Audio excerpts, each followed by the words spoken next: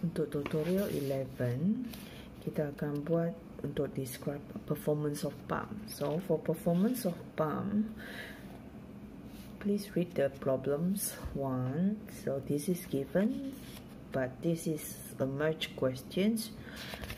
Usually it will ask only either parallels or the second one is series this is the answer. For problem 2 how to plot the graph for characteristics for pumps A uh, there is a video there so you can plot on your own for characteristics for pump B. So how to calculate when two pump in series and how to calculate two pump in parallel the answer I would discuss uh, discussed in this video. So for pump A and pump B all the correct all the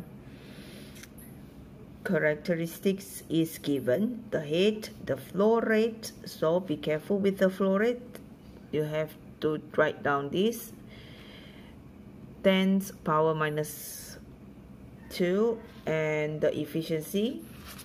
So for calculations part 2 usually you can refer to the notes. Okay I can show you. For the notes the example for this December 2013 only given one data for Q because it is two pump in series connections. Two pumps examples in series connection. So for our examples please ignore the pump. If for parallels, ignore the head because we only want you to calculate what will be for the Q and for series, ignore the flow rate. Okay, because usually it will given like this. One only. Okay, for calculations, please follow me